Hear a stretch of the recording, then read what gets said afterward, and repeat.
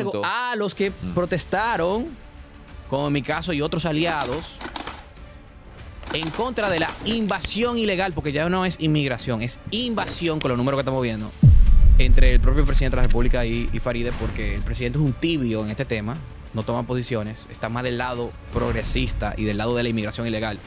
Dominicano, aprenda lo que está sucediendo en el mundo.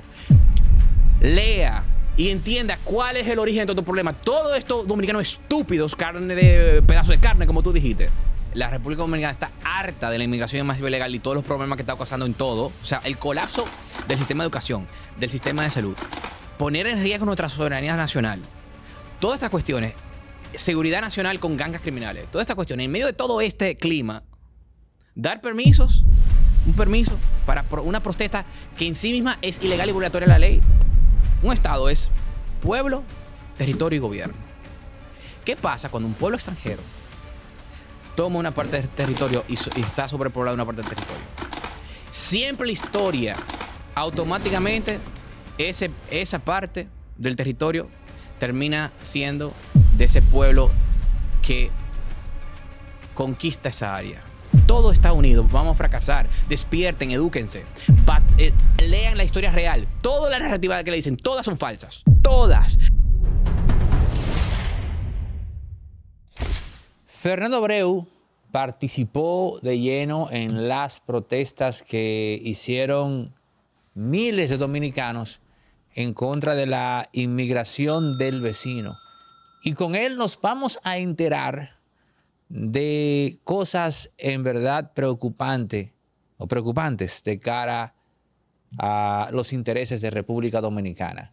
Fernando, es cierto que hubo un, una ligereza a la hora de, de darle permiso a los haitianos para protestar frente al palacio, al tiempo que se mostró una, eh, si se quiere, como una actitud timorata, apocada, para darle el permiso a los dominicanos para manifestarse en su propio país. ¿Es cierto eso? Totalmente cierto. De hecho, hay muchos testigos y, comunicadores que han expuesto este tema, en lo cual la nueva mi- ministro, no ministra, de Interior y Policía, Faride Raful, la progresista, radical, que efectivamente es, en teoría, aunque eso es inconstitucional, lo quiero decir, pero en teoría es quien otorga permisos para protestas a la hora de la verdad en su propio país, República Dominicana, no Haití, República Dominicana su país, a la manifestación de los haitianos ilegales, se le dio un permiso así y siendo algo inconstitucional e ilegal, porque la ley de migración lo prohíbe, la Constitución lo prohíbe, la- personas, las personas en situación de ilegalidad no pueden hacer protestas pidiendo algo que es una violación a la ley, como la, el otorgamiento de residencias permanentes ciudadanías y, y naturalización, etcétera, a personas que violaron la ley, fragantemente, abiertamente, que violaron la ley tan descaradamente que en nuestras caras nos insultan y lo dicen en público, que quieren a la brava que a pesar de que violaron la ley, le demos ciudadanía, permanencia, etcétera, etcétera. Pero vamos a detenernos. eh, y porque hay sin un embargo, punto. a los que Mm. protestaron, como en mi caso y otros aliados, en contra de la invasión ilegal, porque ya no es inmigración, es invasión con los números que estamos viendo, ilegal masiva haitiana, eh, se le dificultó.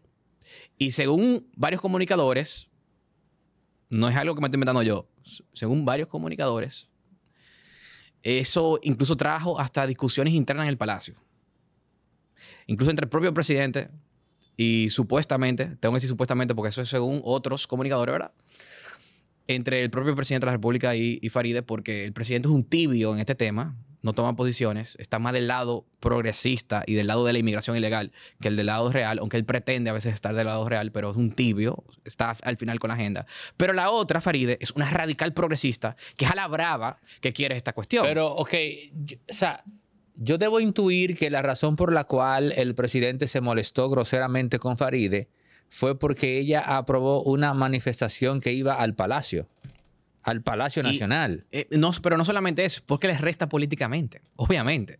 Dando permisos a ilegales cuando es, cuando es ilegal a- dar ese permiso, cuando no se permite, en una situación donde la República Dominicana está harta de la inmigración masiva ilegal y todos los problemas que está causando en todo, o sea, el colapso del sistema de educación, del sistema de salud, poner en riesgo nuestra soberanía nacional, todas estas cuestiones, seguridad nacional con gangas criminales, todas estas cuestiones, en medio de todo este clima, dar permisos, un permiso para una protesta que en sí misma es ilegal y violatoria de la ley, obviamente le va a afectar políticamente, eso es por una cuestión política, porque esta gente del PRM, LDFP, porque son toditos el unipartido, tienen el mismo pensamiento, nada más se pelean por el poder, pero las mismas ideas. realmente, ahí, Todo- ahí debo este- disentir de todo- ti. Danilo Medina no tenía Danilo sí. el mismo criterio del manejo de Estado que tiene Luis Abinader. Da- no lo tenían. En Como cuanto a este tema, Como en- tampoco lo tiene te Leonel explico por qué sí, te explico por qué sí. Los tres son iguales en este tema y en todos los temas. Te voy a explicar por qué sí. Te lo voy a no, demostrar. seguimos- Te lo voy a demostrar, no. te lo voy a mostrar porque, Danilo fue que hizo el plan de contingencia. Danilo fue que aprobó el plan de contingencia en la cual la República tú- Dominicana perdona. acepta flujos migratorios. Tú sabes que, tú sabes que Danilo no es santo de mi devoción. Sí. Ahora bien, tú como Maoísta. buen, como buen conservador sabrás que existe una realidad objetiva. En este caso, la realidad objetiva es un hecho que se dio que tú desconoces y que lamentablemente la mayor parte del país desconoce. Y te repito, esto no es, si se quiere, aupando a Danilo. La realidad es que Vamos vamos existía, al menos para, eh, para intimidar a República Dominicana, un plan, oye bien, Mm. Fernando, No, un plan en la administración Obama para declarar un estado de emergencia y de crisis de crisis humanitaria en Haití que iba a obligar a República Dominicana, cuando digo obligar me refiero a que los organismos internacionales iban a obligar a República Dominicana a aceptar unos criterios de ocupación, de fuerza binacional que iban a poner en tela de juicio la existencia de República Dominicana.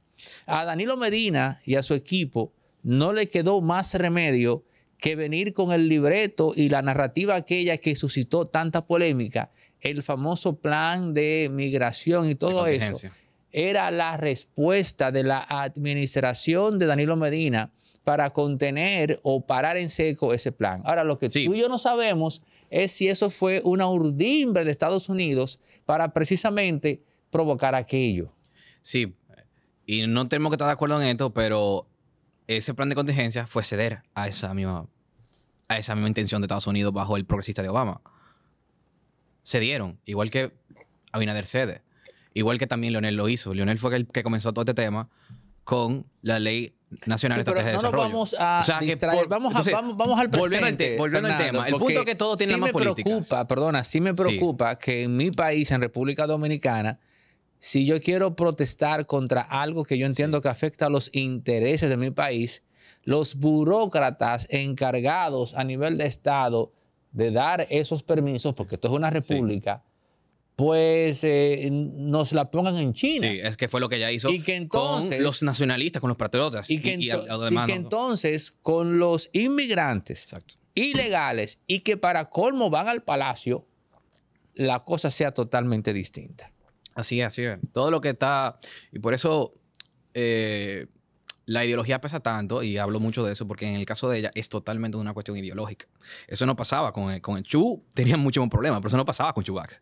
Chubax daba los permisos. Entonces, por Freire, como viene con esta radical- radicalización eh, ideológica, está sucediendo eso. Y sabíamos, y desde que la anunciaron a ella, sabíamos, ahí va Faride a hacer Farmacia Medicar GBC está abierta de lunes a domingo, sigue en pie con su descuento de un 20% y también tiene su app que pueden descargar eh, los amantes de Android y la gente también de Apple. Farmacia Medicar GBC, la de nosotros los dominicanos. experimentación social con la Policía Nacional y todo lo que pasaba con nuestras fuerzas de seguridad ahora va- van a ser sujetos y va a empeorar aún más con toda esta experimentación social progresista que va a ser Faride con eso. O sea, ve- vamos, venimos de peor a mucho peor. O sea, a- estamos empeorando mucho más. Y es una realidad eh, que no se puede negar y es muy peligroso. Lo primero es que el Estado no debe dar ni siquiera, no debe tener el permiso y la facultad, no debe tener el poder y la facultad para otorgar permisos para protestas. La libertad a reunión y manifestación es un derecho y una libertad sagrada que al contrario existe esa libertad para restringir el poder y el gobierno. El gobierno no se puede meter con eso. Todo ciudadano dominicano, un ilegal es otra cosa, con un ilegal sí. Un ilegal al revés, lo que debe es deportarlo y llevarlo a su papá ahí. Totalmente lo contrario. Pero con los ciudadanos dominicanos es un derecho y una libertad sagrada. Lo único que pueden hacer es combatir cuando una manifestación se vuelve violenta. Pero manifestaciones pacíficas es un derecho natural sagrado que no viene del Estado, que viene de nuestra condición de ser seres humanos racionales y también para los creyentes de Dios. ¿Ok? No otorgado por el rey o el Estado.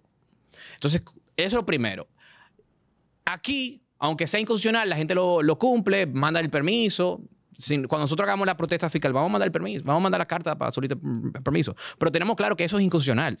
Que uno tiene la libertad y el derecho a protestar sí o sí sin eso. Entonces, es que esta progresista radical ahora venga a creerse que tiene la potestad de ser, Dios, decirle a quién puede protestar, a quién no puede protestar, según su concepción ideológica progresista radical, es una locura y debería dar vergüenza.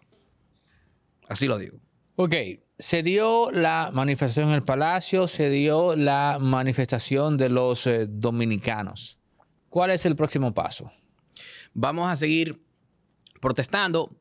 La próxima eh, manifestación será a las 4 de la tarde este sábado 4 de octubre, este mismo sábado, en la Plaza de la Va a ser mi Bandera. cumpleaños. Ah, bueno, pues, pues ve para allá y que no te comprendo protestando y después tú lo celebras aparte de eso. Pero felicidades por- durante tu cumpleaños. Y eh, en, esa, en ese día, miles de dominicanos, igual como en la última, última protesta, que fueron miles, li- literalmente un mar de gente, en lo cual nosotros tuvimos la oportunidad de dar una charla muy exitosa y, hablar. Y, increíble como el público estaba tan alineado, todo el mundo estaba eh, contento con lo que se estaba diciendo, eh, todo el mundo estaba aplaudiendo, o sea, estábamos, eh, había esperanza y una luz en el grupo, en, en esas manifestaciones. Eh, eh, estábamos haciendo algo que se constituye en el bien, en lo que necesita la población, en lo que necesita la dominicanidad. Se sentía ese, mm, esa energía como tal cuando los trinitarios lo estaban haciendo durante nuestra revolución de independencia en, en contra precisamente de la ocupación haitiana. Eh, era un tipo de energía así, como de independencia. Literalmente necesitamos ese tipo de, energía porque estamos llegando a un nivel crítico, estamos llegando a un nivel exagerado de... A la gente se le olvida algo. ¿Qué es un Estado? Un Estado es pueblo, territorio y gobierno. ¿Qué pasa cuando un pueblo extranjero toma una parte del territorio y, so- y está una parte del territorio? Siempre la historia, automáticamente, ese, esa parte del territorio termina siendo de ese pueblo que conquista esa área. Ha sucedido en la República Dominicana ya después de la independencia de la República. A la gente se le olvida que Trujillo, en los 30, tuvo que ceder una gran parte del territorio fronterizo, precisamente porque estaba sobrepoblado en esa área y aún continúa cada vez más y más. Cuando son mayoría en un sitio, mandan. Y eso es lo que terminó pasando en todo estado. Por eso también fue que todo Latinoamérica se independizó de España, porque los criollos fueron mayoría. El Estado es literalmente territorio, pueblo y gobierno. Y si tú tienes territorio y pueblo, tú terminas teniendo gobierno. Y por eso es tan peligroso esta sobrepoblación, porque no solamente un tema de seguridad nacional contra gangas criminales, caníbales, de hecho, no solamente un colapso del sistema de salud educación, no solamente en en una importación de la pobreza extrema, es un tema de soberanía nacional que vamos a desaparecer como país, literalmente. Y por eso es tan importante. Bueno, desaparecer como país y también la riqueza que nos queda natural también va a desaparecer. Y mira, vi un eh, relato, vi un video lo tengo, no lo he sacado al aire, pero eh, un video de una, una joven dominicana, no sé si lo viste, lo subió a sus redes en donde ella fue, la chocó un, un inmigrante que tenía también su vehículo. Entonces, cuando ella va a hacer el proceso eh, para reclamar cosas del seguro, aparece un imbécil, un, un anormal, un pedazo de carne y le dice, aunque dominicano, pero eso es lo peor, y le dice, tú estás haciendo eso porque él es haitiano. O sea, ella está haciendo un proceso legal por un choque, con seguro y todo, etcétera, lo normal. Entonces, este imbécil pretendía que ella no hiciera nada. Porque, porque quien la chocó es un haitiano. Como era un haitiano, había que, en buen dominicano, chancearlo. O sea, lo peor, Fernando, no es la inmigración haitiana. Lo peor es ese tipo de postura dominicana frente a los haitianos. Es el problema del lavado de cerebro ideológico, como dice Elon Musk, woke mind virus. Es el problema de los domiprogres.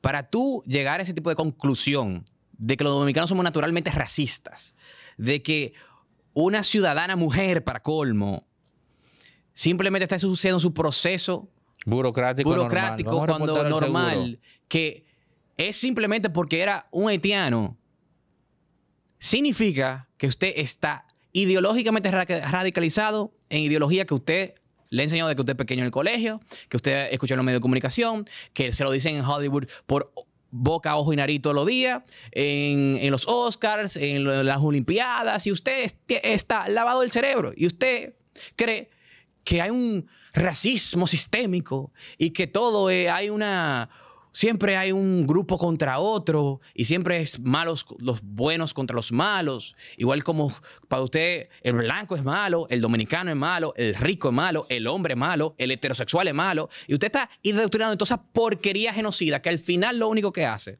son políticas públicas que van contra la esencia del ser humano, la maldad del ser humano y que destruyen el ser humano por completo, económicamente, socialmente, sexualmente al nivel que ni siquiera se pueden producir, porque es lo que promueven eh, sexualidad que no se reproducen, promueven estatus económicos que no tienen éxito como la pobreza, promueven la pobreza. ¿Por qué? Porque si demonizas la riqueza y te gusta el socialismo y demonizas la riqueza, literalmente estás diciendo que tú quieres que todo el mundo sea pobre porque ser rico es malo.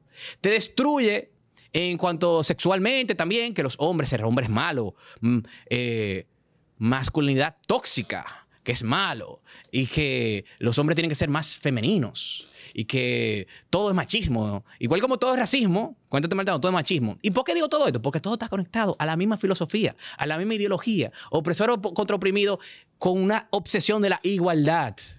Pero fíjate, igualdad como fin, pero ¿cuál es el medio?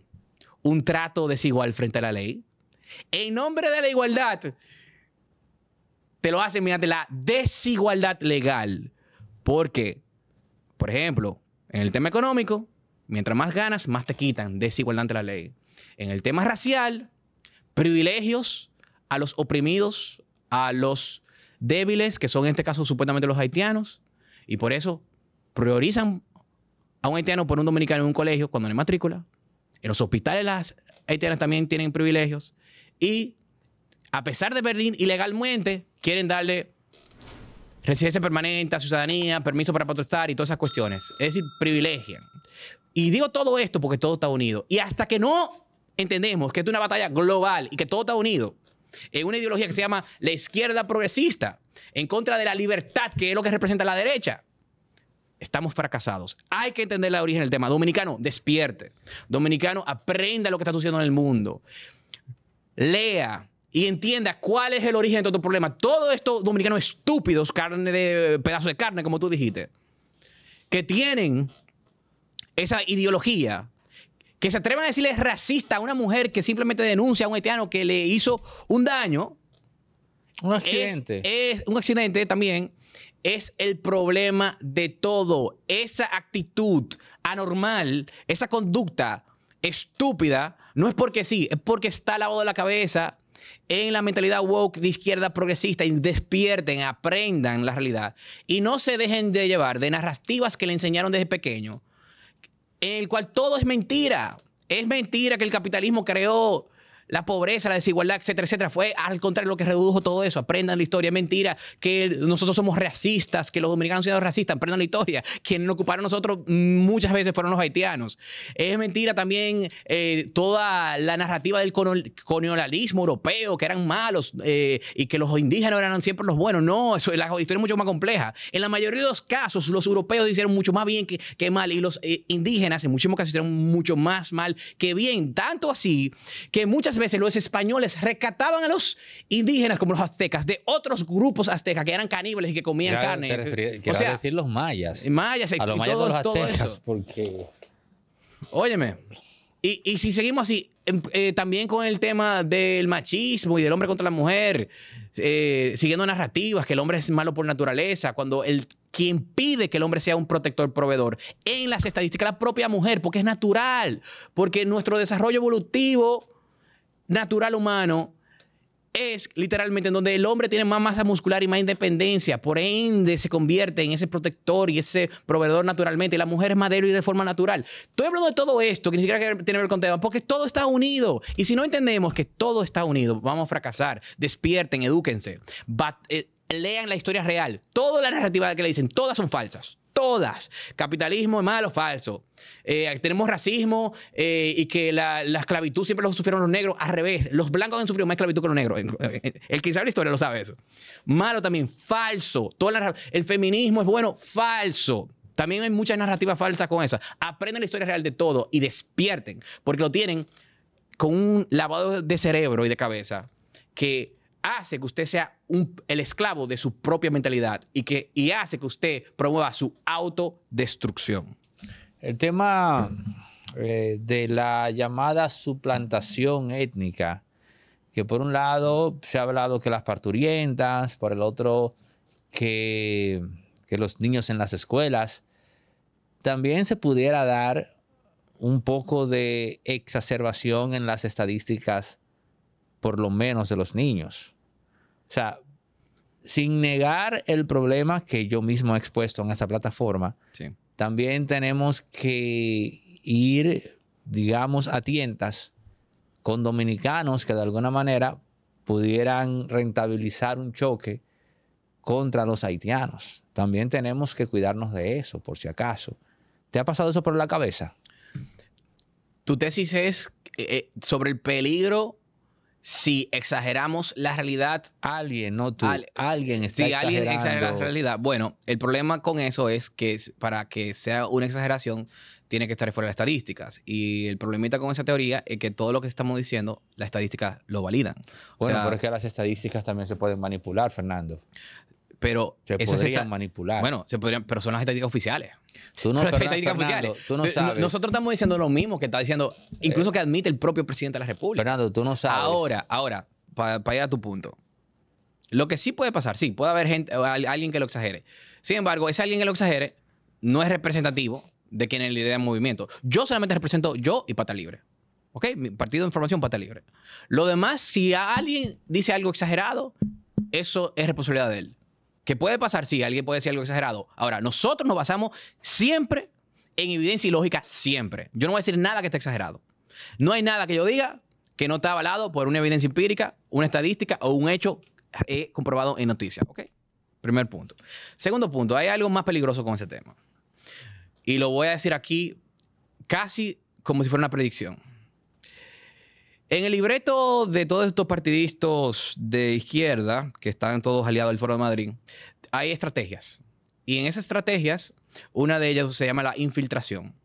Y en manifestaciones, ellos, eh, cuando hay una manifestación pacífica eh, por un grupo de derecha, en este caso patriota, de una derecha patriótica, eh, una de las estrategias de la izquierda, y puede ser el PRM, la misma Fuerza del Pueblo, o el PLD, o cualquiera de estos partidos, suelen hacer una estrategia que también se vio en Estados Unidos, por cierto, cuando Trump, que es que mandan a personas que se infiltren en protestas pacíficas como la nuestra, que es totalmente pacífica, a causar caos, violencia, para culpar y demonizar un grupo completo.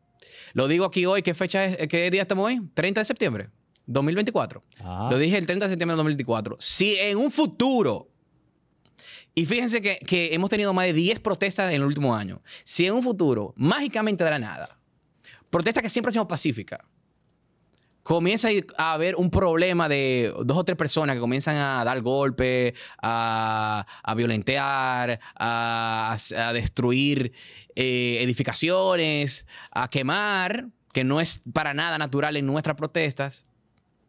Lo voy a decir de ahora, posiblemente sea un infiltrado de alguien de esos grupos de izquierda y de esos grupos partidarios de los, de los partidos políticos tradicionales, que para manchar nuestro movimiento, nuestro nombre y esta causa, hacen eso. Lo estoy prediciendo ahora, que se atreven a hacerlo. Ojalá y no suceda, pero es muy posible que lo hagan. Bueno, Fernando Breu, acá en Impolíticamente Correcto. Gracias a ustedes por llegar a la parte final de esta conversación. Suscríbanse, activen la campana, comenten, compartan, den like.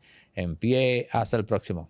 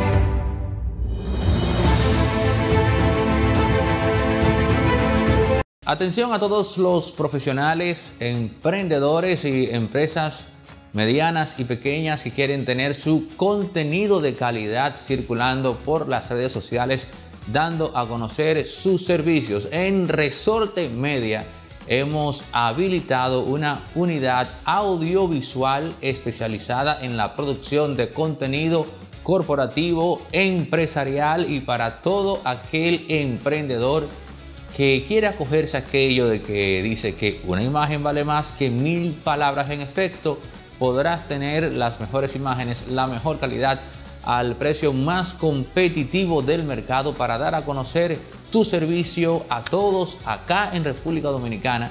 E incluso si tu empresa capta clientes en el extranjero, también podrás contar con eso. Contáctanos, escríbenos al 829-741-361 para que arranques desde ya a colgar contenido en tus redes sociales con la mejor calidad audiovisual posible, la que Resorte Media pone a tu disposición con el presupuesto más eh, asequible del mercado.